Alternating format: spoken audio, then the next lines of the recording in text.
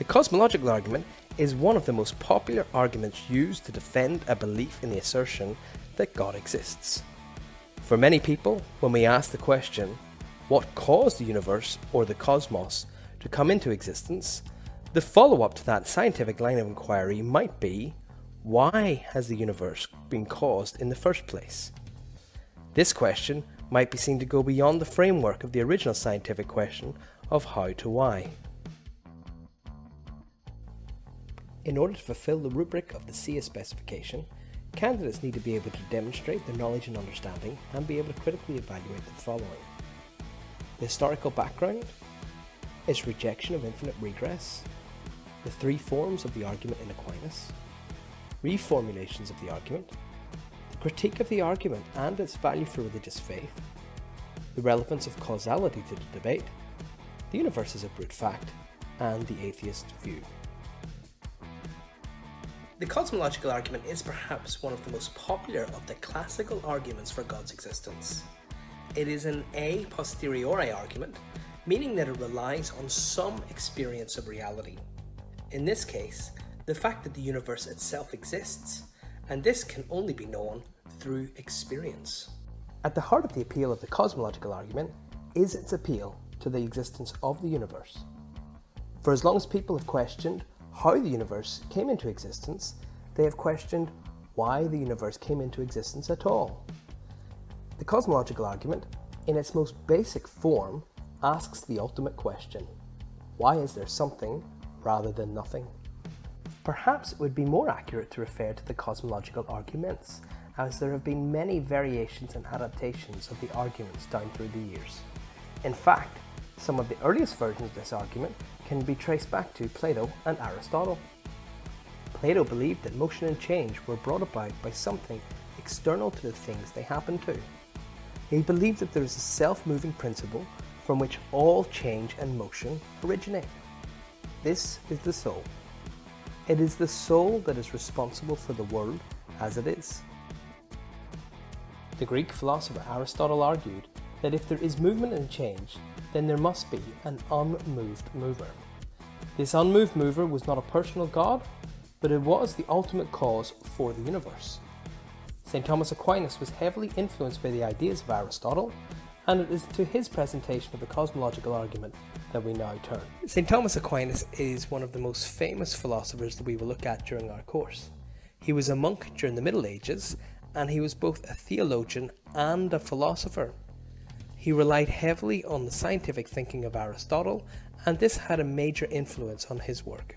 Medieval age in which Aquinas lived sought to recapture the scientific and philosophical thinking of Aristotle, to which Aquinas reconciled with the theology of his Christian faith. A natural theology, a reconciliation of faith and reason.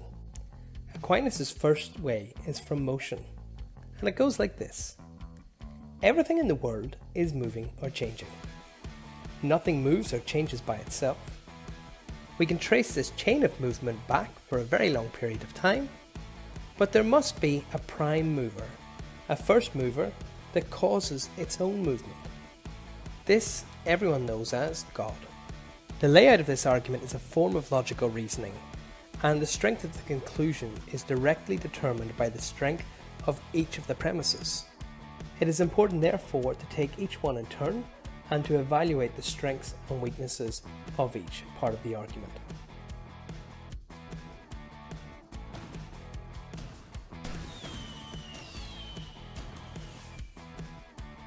Aquinas started off his argument with a fairly obvious observation that everything that he could see was either in motion or in a state of change. For things to be in motion, they don't have to be as dramatic as fireworks, but Aquinas was fairly confident in his assertion that everything was in motion or change. He defined motion as the reduction of something from a state of potentiality to a state of actuality and gave the example of a match which is actually hot, reducing wood which is potentially hot to a state of being actually hot. Aquinas borrowed Aristotle's definition of motion, and using the example of a statue sculpted from a stone, Aristotle demonstrated that an object was in one of two states actual or potential. The marble stone has the potential to become a statue, but once it has been sculpted, it is no longer potentially a statue, but actually a statue. It cannot be in both states simultaneously at the same time, and therefore the object has been reduced from one state to the other. The obvious issue that arises out of this definition is that if nothing can simultaneously be both the potency and the act, where does the change originate from? This is where one of Aristotle's most famous ideas comes in the idea of efficient cause. Aristotle explains the need for an efficient cause that brings about or affects change through the example of an acorn which has the potential to grow into an actual oak tree. Clearly, it needs water to effect this change, and Aristotle asks us whether that is potential water or actual water. Obviously, potential water doesn't exist, so its actual water is required to affect the change of the acorn. Aquinas assumed he was on safe ground by suggesting that everything in the world that he could see was either moving or changing, and that nothing can move or change by itself. In a moment, we'll dig a little deeper to see whether modern scholars and modern scientists agree with him, but for now, let's just assume that he was right and that everything in the world that is moving or changing cannot move or change itself. Aquinas believed that you could explain each motion or change by the event that immediately preceded it. He believed that you could trace this chain of events back for a very long period of time, but that ultimately this could not go on forever. This is known as his rejection of infinite regress. It is worth spending a little bit of time exploring this premise, as some philosophers believe that Aquinas' rejection of infinite regress is one of the most vulnerable aspects of his argument. Aquinas believed that no matter how long the chain of motion or change, that even if you could explain each stage of the chain, eventually there's a need for the chain to start. Over time, different philosophers attempting to defend and explain Aquinas' rejection of infinite regress introduced a simple analogy of dominoes.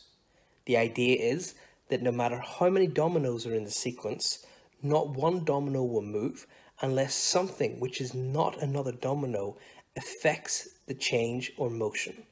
This might be the finger pushing over the first domino, and this is analogous to God.